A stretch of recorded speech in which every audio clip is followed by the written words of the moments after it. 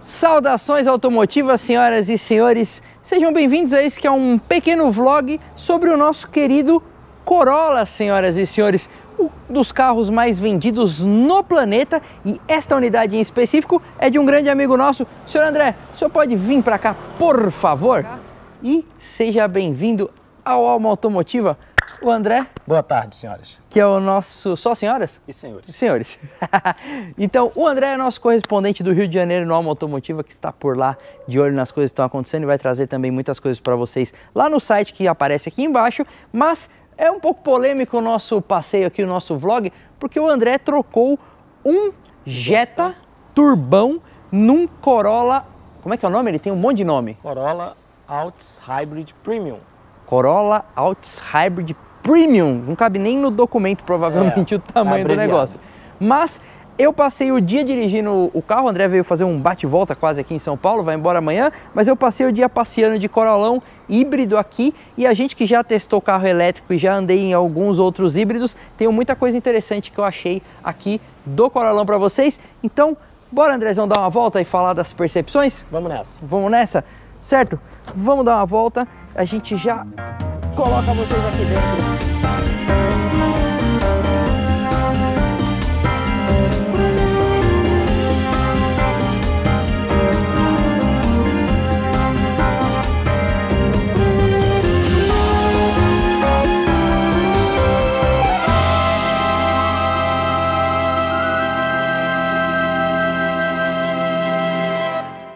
Senhoras e senhores, por dentro do Corolla Altis Hybrid Plus Advanced Premium, não sei das quantas aqui, que o Andrezão me convidou para conhecer. É, a gente deu um bom passeio hoje, andamos alguns quilômetros aqui totalmente no uso urbano, né, André? 100%. E aqui, ó, pra mim, no computador de bordo dele marca 16.5 quilômetros com um litro. Posso te, se você quer partir do porquê que você trocou um carro pelo outro? É, eu acho que o número fala por si, né? Quanto quanto fazia o Jetta Turbo? Só pra gente ter uma ideia. Tráfego 100% urbano, ele não fazia mais que 9. Caraca, 100% mesmo. E na estrada era um pouquinho Na mais estrada econômico. ele fazia 14. 14. E aí tava pesado. No tempos de gasolina, então como eu falei, o Andrezão veio lá do Rio, gasolina no Rio hoje, só pra contextualizar, mais barato, você falou que tá 7,20. R$ 7,20. Então, uma gasolininha de 7,20, cara, é, é pesada a brincadeira, né? É, pesado. Você roda bastante. Então, o André veio do Jetta pra cá. Eu acho que isso é legal pra falar sobre. o- Eu quero que você fale agora, como proprietário. Você tá com com esse carro há quanto tempo? Um mês. Um mês. Sim. Como proprietário, fala aí, o que, que você gostou, o que, que você adorou, o que, que você não gostou? Antes de eu entrar aqui em um monte é, de coisa. bom, é, são mundos completamente diferentes, né? A gente tem um carro, uma proposta mais esportiva, que era o caso do Jetta, um motor Era, era um Jetta. Qual era o modelo? Vamos Vamos 4 TSI, TSI. né? Um carro com Que nem, nem era o GLI, né? A gente Não, tá falando era do, do- do- da versão top, que era de luxo, era o Highline. Era o Comfort Line. Comfort Line, então É. nós não estamos nem falando nem do mais luxuoso. Mas é um carro com 150 cavalos e 25 kg de torque. E disponível a mil e alguma coisa rotações. Então, Fomos- tinha... Fomos inclusive no Track Day, né? Na Fomos Interlagos, no foi uma track day. delícia. Exatamente. Então é um carro que te entrega muito torque em baixa e você tem um canhãozinho ali que te arranca um sorriso quando você precisa dar uma acelerada mais, mais forte. Mas a questão do combustível realmente faz a diferença quando você tem um uso urbano severo, que é o meu caso. Né? Então eu rodo em média de 2 a 2.500 km por mês. E você ter um carro que você tem o mesmo conforto, um pouco melhor até do que o Jetta. É, que o, o propósito é mais conforto. É, o conforto é, é- é melhor do que o Jetta e, e sem. Você perde um pouco da, da esportividade do carro, não é? não é um carro que te entrega aquela potência, mas também não é, em contrapartida, não é um carro é, morto, digamos assim. Se você Ele der um- uma um pisada, desempenho satisfatório. é, der uma pisada, ele, ele vai te responder, um pouco mais é, letárgico, né? Mas vai te responder. E com esse consumo, né? É, esse consumo de 16,5 que está aparecendo aí. Acho que a gente pegou muito trânsito, né? Não, é porque eu vim na tocada rodoviária. E Entendi. na tocada rodoviária ele usa mais o motor a combustão. Agora, se você tiver um, um- um trajeto exclusivamente urbano, você consegue arrancar médias que eu já fiz de 20, 21, Caraca. 19. É, é melhor do que o, o- quando você é, é, mistura os dois, os dois ciclos, né? Urbano É. e rodoviário. Aliás, para quem nunca conviveu com carro elétrico ou híbrido, aliás, quem quer saber até de um carro elétrico, a gente testou, testou o Nissan Leaf. Vamos deixar o link aqui embaixo para vocês assistirem esse vídeo. Mas para quem não conviveu com carro híbrido ou elétrico, isso é uma coisa engraçada, né? Porque no 100% a combustão, a gente tinha aquela realidade que a estrada é sempre mais econômica Exato. do que a- a- a- o uso na cidade, o uso urbano.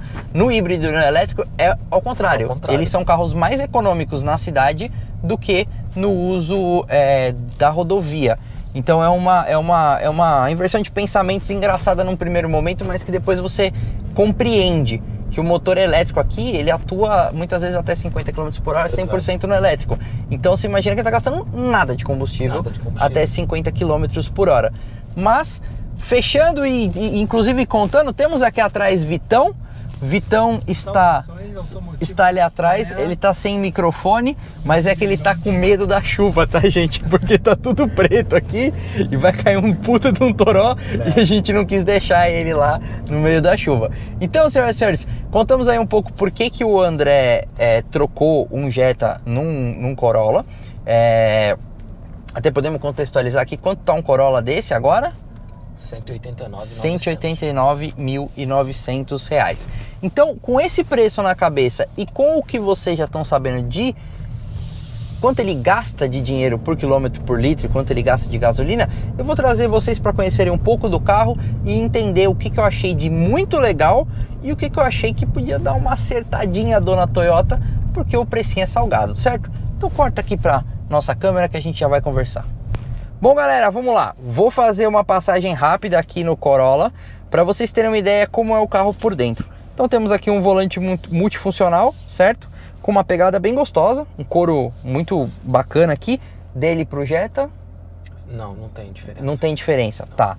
Cara, o painel ele tem dois modos, um modo mais digital e esse modo que ele cria esse velocímetro analógico. Eu vou ser sincero que o velocímetro digital é muito melhor de ser usado, mas o velocímetro analógico é muito bonito. Ele fica com uma grafia muito bonita aqui no painel. E podem ver, senhoras e senhores, que nós não temos a presença do contagiro. A gente tem aqui, ó, esse carinha aqui, ó, que ele tá no off, né, quando o carro tá desligado. Aqui o CHG é de charge, que ele está carregando. O Eco, que é a faixa de pilotagem que você tá andando mais correta. E o Power, que é Power, quando você quer andar, senhoras e senhores. Aqui temperatura do motor, aqui a, o, o nível do tanque de combustível, que eu vou falar para vocês que nós andamos pra caramba hoje, né, André? É. E ele quase não se mexeu. E aí aqui tem ó, a média total, como ele vê na rodovia 16.5, certo? Quantos quilômetros tem para andar. E aí aqui tá no neutro, tá tudo pronto. E aqui passando para a região do câmbio, a gente tem os modos de, de direção, né? Que ele tem o Eco, o Power e o normal, certo? O Power quando você quer Power, o Eco para você economizar e o normal quando está no dia normal. Enfim, desliga aqui o controle de tração e aqui quando você liga o modo EV que ele torna-se elétrico até os 50 km por hora, 100% elétrico. Um carregador de indução, curioso, né, Sandra? Curioso. curioso, porque você tem que, você pode ligar ou desligar ele, tá vendo? Tem um botão aqui, ó, desliguei. Aí se eu clicar, eu liguei e o meu celular vai iniciar a carga. Eu achei engraçado ter um botão de power para isso. Temos o botãozinho de power azul aqui, também bem condizente com a proposta do carro, né? O, a Toyota usa muito essa grafia azul quando o carro é híbrido, né? Temos aqui o ar-condicionado Dual Zone que funciona muito bem no modo Eco. Isso foi um negócio que me surpreendeu. Hoje está um dia muito quente em São Paulo, deve ter feito uns 35 graus. E aqui o multimídia, que a gente tem um comentário à parte, né, seu André? É, o multimídia deixa muito a desejar. Deixa muito a desejar. Ele tem é, uma, um funcionamento bem letárgico. Por exemplo, você clica no mapas aqui, ele abre, ó, cliquei aqui, tá vendo? Olha o tempo. Olha o tempo que ele leva para abrir e quando você também digita todo o endereço, ele leva muito tempo para achar. Então se você estiver perdido e precisar sair logo do lugar, não conte com esse GPS, senhoras e senhores. Então, assim, uma crítica que a gente pegou aqui usando o carro foi sobre esse carinha. Eu não gosto muito do desenho dele. Eu brinco que parece que o cara desenhou o carro inteiro e ele esqueceu essa tela. Ele pegou e enfiou a tela aqui. Não é uma coisa que me agrada. Embora, diferente da maioria dos Toyotas, o painel desse carro, o habitáculo dele, tem um desenho que me agrada bastante. Certo? Temos aqui um retrovisor fotocrômico e aqui um botão que é outra tampinha que parece que o cara esqueceu e colocou ali. Mas são pequenos detalhes de design que não desmerecem o geral do carro. Um console central muito bonito e uma reclamação do André. De acordo com ele, a gente tem uma falta de porta bugiganga aqui, né? É, deixa um pouco a desejar. O Jetta um- tinha mais Tinha, porta tinha. bugiganga, a escola Pelo menos alemã. um lugar para você botar uma carteira e um telefone não tem. Você ou carrega ou deixa ali escondido, se tocar você não vê. Entendi. Eu, eu, pelo menos esqueço que tá tocando e nem vejo. É, a carteira você bota no bolso ou você bota aqui. Entendi. Aqui e tem aqui um, o porta-copos. um né? porta-treco aqui e um porta-copos. E senhoras e senhores, uma, duas coisas, uma coisa muito legal e uma coisa que eu achei um pouco antiquada. Falando da antiquada primeiro, o freio aqui, queridos, é um freio normal de mão, uma alavanca aqui que você puxa. Eu acho que para um carro desse preço e com tanta tecnologia embarcada, podia ter um freinho lá no botãozinho bonitinho, o cara também já punha no parque ali já puxava. Certo, dona Corolla? Dona Corolla, não, dona Toyota, resolve essa aí pra gente. Aqui temos, como é que é o nome, Andrezão? É o, é o farol, auto, automático. automático. Isso aqui é bem legal. Então você tá numa via à noite, com o farol alto ligado, que não estiver passando carro, uma via escura, de uma estrada vicinal pequena, ele vai ali adaptando. Passou um carro, ele desliga. E ele já está me reclamando aqui. A bateria de tração precisa ser protegida, evite a posição. Vamos colocar no parking. Certo, pronto. Aí agora ele parou de apitar essas coisas da modernidade. E o Vitão, ele tá no muting ali, ó. Mas ele gostou de uma coisa que eu gostei bastante. Os bancos, eles são chocolate preto e branco aqui, ó. Dual color, né? É dual color, de acordo que com chique. o Vitão, esse, ó. Dual color. Ai, dual color. Esse E acompanha, dual né, color. Não, mas ele é legal porque a parte é, onde este animalzinho está aqui sentado aqui, ó, de baixo, onde está é as carças sujas dele aqui, ó, escuro, né? é um cinza escuro e, E a aqui é parte um- de cima é um bege, um, um, baunilha. um baunilha, não sei. Mas é legal porque a, a parte mais suja ela escura e a parte que é menos suja, são suas costas, que são aqui a sua caixola, elas são mais claras. Então eu acho que é um puta de um detalhe legal. Enfim, a, o- a Toyota foi muito feliz no desenho interno desse carro e no Encosto de desenho externo. Super confortável. O Vitão ele tá falando, mas vocês não devem estar ouvindo Mas por causa tá do ouvindo, áudio. Mas ele gostou muito lá de trás pelo sono que ele teve durante o Eu passeio. Não chego a ser um animal de grande porte, grande porte, Grande porte, igual o João igual Anacleto, Anacleto. Aliás, eu sou- gente, continua na Certo. hashtag Vitão quer mas conhecer aqui João tá Anacleto. confortável. E tem porta-treco aqui. Tem porta-treco. Bom, eu não sei se vocês estão ouvindo o que o Vitão tá falando, que ele tá sem microfone. Mas enfim, o habitáculo aqui é muito legal. Agora vamos trazer a câmera aqui pra cima. Eu vou explicar um pouquinho da percepção ao volante, certo? Corta. Bom, senhoras e senhores, a bordo do Corolão aqui, High Hybrid e um monte de outras coisas mais que eu vou demorar uns três dias pra decorar, mas o André vai embora amanhã, não vou conseguir decorar, É. Altis Hybrid Premium. Exatamente. Então aqui com o nome e sobrenome de Corolla, senhoras e senhores, é, o- a direção dele tem um negócio bem interessante. Direção quando eu digo a forma de dirigir, que é o B, que está presente no carro elétrico também, como o Leaf que a gente dirigiu. É, ele é um modo que regenera mais a bateria, certo? Ah, e aí é legal também tem uma forma de condução aqui que eu, eu- foi a que eu mais gostei. Colocar aqui essa grafia que mostra de onde a força tá vindo, né, Andrezão? Exato. Se ele tá vindo do motor a combustão, ó, nesse momento, ó, a força tá da bateria para as rodas da frente. Se eu acelerar, ó, ele vem tanto da bateria quanto da roda da frente. E quando eu solto o pé do acelerador no B, ele mostra uma setinha verde que vai, ó lá, para trás, que tá, quer dizer que tá carregando a bateria. Exatamente. Então ele, ele tem um comportamento bem legal aqui. Você entende como é que é o jeito mais legal de você dirigir para você carregar a bateria, para você fazer é, uma condução mais efetiva através desse gráfico aqui completamente interativo que eu achei bem legal. É, e você usa ele a seu favor, né? Sim, essa é a ideia, né? É. Você ter isso aqui para você carregar mais a bateria, para você entender quando que vem a força. Otimizar o uso, o uso das baterias e É, o carro começa a te dar uma, uma informação muito lúdica, né, para você ficar a sua interação com a É. máquina ser mais efetiva. dirigir de modo mais econômico. Exatamente. E, senhoras e senhores, estamos no modo Power agora. Vamos lá falar pro pessoal aí, o pessoal chatos de plantão, nós não estamos comparando com carro esportivo. Quer ver carro esportivo? Tem no canal também, senhoras e senhores. mas ele não é um carro esportivo. Mas ele não é um carro lento. Ele é um carro que tem um, um desenvolvimento, ele tem um desempenho ok, bom É. para a categoria dele. E ele me surpreendeu positivamente. Porque como eu vim de um Jetta TSI 1.4 turbo, eu já comprei o carro pensando que, Que ia ser chato. que ia ser chato. Mas como nesse momento a economia de combustível era o que mais me importava, eu falei, ok.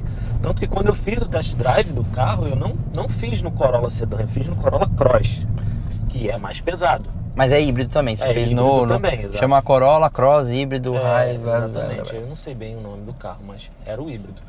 E eu achei o desempenho do Corolla Cross ok. Eu já sabia que seria ruim, mas eu achei ok. E, bom, pensei, se o Corolla Cross, que é mais pesado, me entregou isso, eu acho que o sedã vai ser mais legal, porque é mais leve. Sim. né? E foi uma grata surpresa. E tem um centro de gravidade mais legal, né? Pra gente que É, gosta de carro. muito mais legal. Aliás, o senhor André é o escritor do nosso texto É, uma- Salvem os Sedãs. Uma curiosidade, uma curiosidade interessante, né? O, o Corolla Cross, ele não tem é, suspensão traseira independente. É, é, É eixo de é eixo de torção. torção, né? É, o que torna esse carro aqui muito mais legal de dirigir. Inclusive, eu vim numa tocada muito boa na estrada ontem. É, Tem uma serrinha legal, né? Do Rio pra cá. é, tem uma serrinha legal, mas ele vem, ele vem copiando a curva. Você vem a 130, 140, você pode entrar sem medo de ser feliz que o carro não vai sair. Isso, isso é legal. Você que tava É. no jetão lá e você e o queria. um- Jetta tem eixo de torção na traseira também. Ele não tinha suspensão independente nas quatro rodas. Então eu acho esse carro aqui mais interessante de curva e também assim. É, um motorista médio ele não vai andar 180 mano. Ah, sim, É. ele vai andar numa velocidade média. Mas mesmo assim, 120. mesmo a 120 você tem mais segurança, que Mais você tem uma segurança. suspensão mais efetiva. Exatamente. certo? Mas o que eu te falei, o carro me surpreendeu muito. Vou falar dos pontos positivos aqui. Se você tiver qualquer coisa para me corrigir ou para complementar, você fale. Ok. O carro tem um nível de ruído interno muito baixo. Não tem um barulho de acabamento aqui dentro. A montagem do carro, pessoal, aqui ó, do pessoal do Soft Touch, pode ficar feliz porque é tudo Soft Touch. O carro é todo bem montadinho, tá?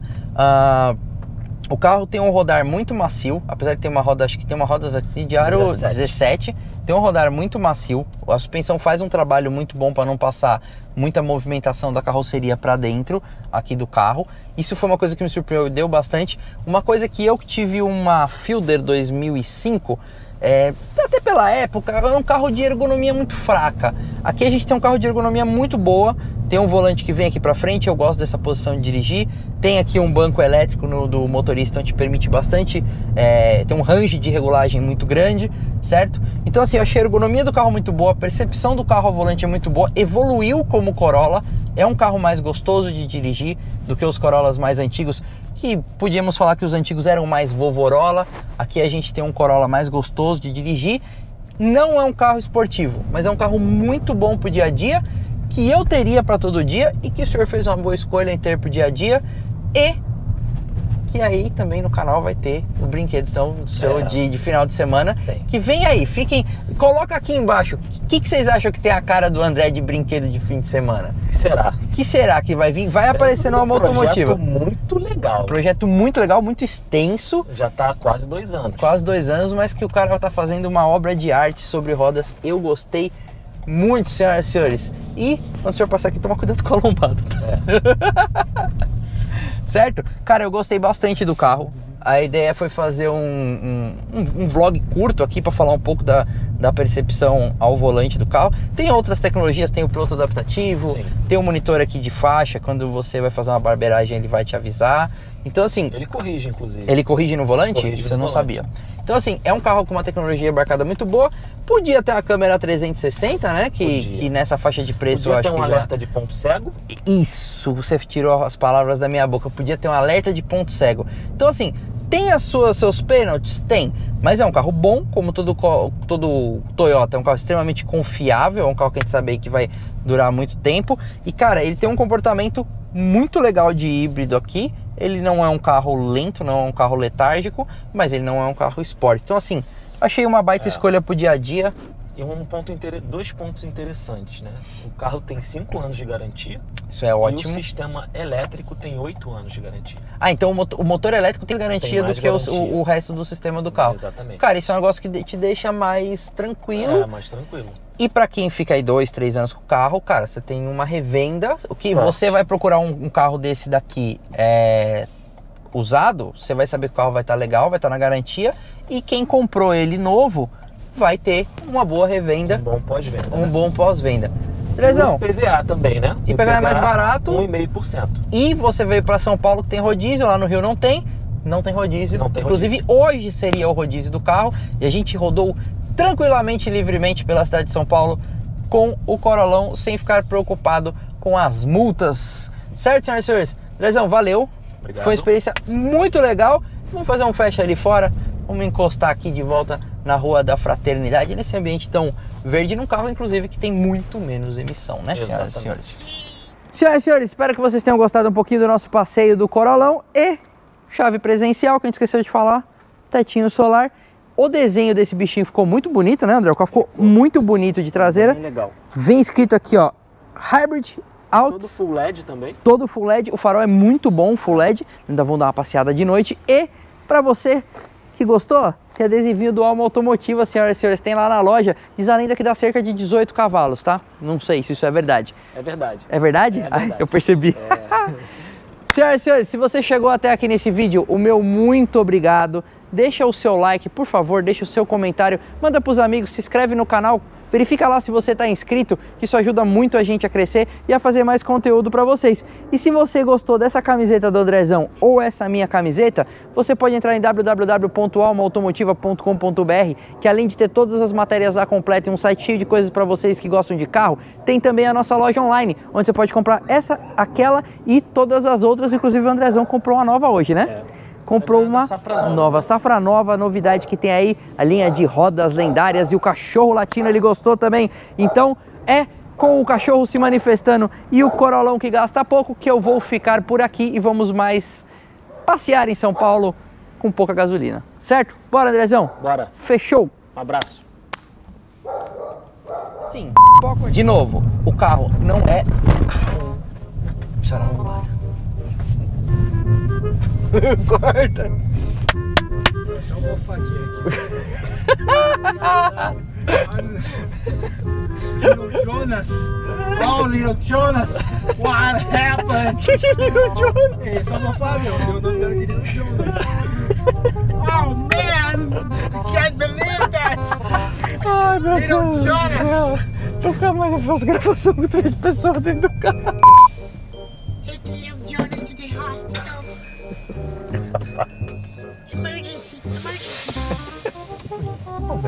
Mas não, não tinha nem acabado de gravar. Eu tava chegando e você meteu o biruta. Ah, Não, não, você tá descontrolado, velho. Isso é descontrole? Não, Não, isso é descontrole. O Vitão ele tá conversando com a almofada aqui, velho. É descontrole isso aí, Vitão. Não, isso aí é descontrole, Não, pelo amor ele de Deus. ficou- ele ficou Ele ficou, né? não, O dia ele todo o dia rodando todo rodando né? com o negócio. Emocionado que ele gosta de Toyota. Tchau, tchau, tchau, tchau. Lá pra fora.